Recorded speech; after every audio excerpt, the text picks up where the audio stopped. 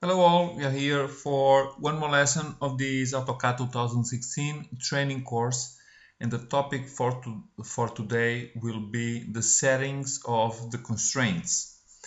Um, I, have created a very simple geometry to, to show you um, one or two things about these settings and uh, basically under the same menu where we've been seeing uh, the geometrical and the dimensional constraints so parametric um, we got in here we got this dialog box which are the con constraint settings.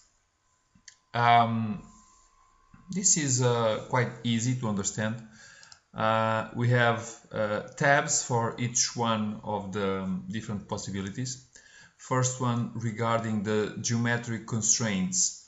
We have these uh, uh, settings for display, uh, all the settings we have. So if we choose, for example, not to show a couple of them, what happened it is that uh, when I try to, when I define a constraint, then it is not shown.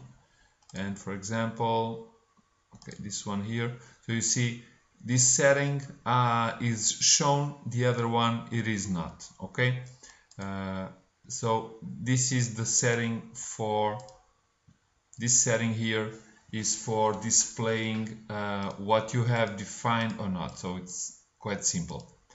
Uh, we can make a limitation on this uh, if uh, only to, to the settings on the current plan. So it's another possibility the transparency and uh, the display in these situations here okay?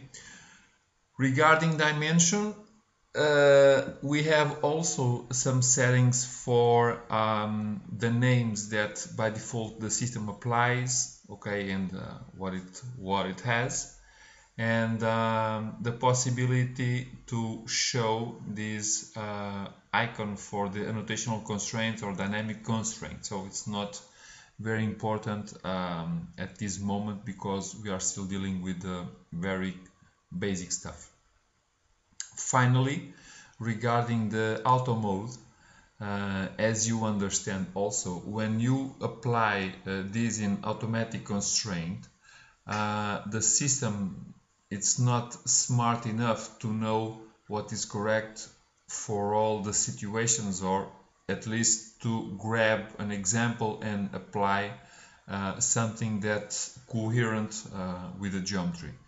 So uh, we can define priorities for the constraints we find more useful to apply. Okay, so you have a set of priorities and you can change these with this uh, move up and down select clear whatever okay uh, we have this setting also for the tangent objects in particular and for the perpendicular also then you got tolerances and angles so that uh, the system can grab some geometry and uh, uh, identifies that geometry as possible to, to apply the constraint. So this is um, quite easy.